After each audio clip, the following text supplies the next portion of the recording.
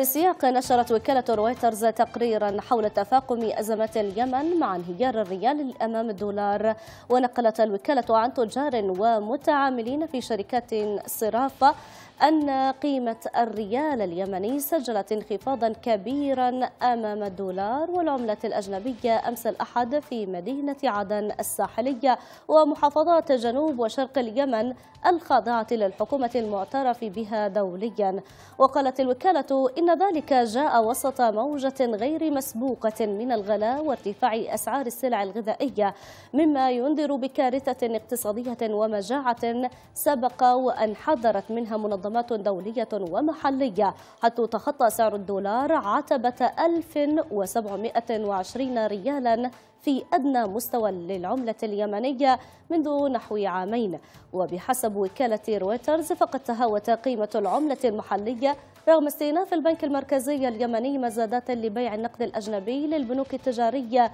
بعد أيام من حصوله على دفعتين من الدعم الاقتصادي الذي أعلنته السعودية للحكومة المعترف بها دوليا في عدن حيث يرجع سبب تجدد انهيار صرف العملة المحلية لعوامل محلية وإقليمية أهمها الحرب في البلاد وما خلفته من كوارث اقتصادية.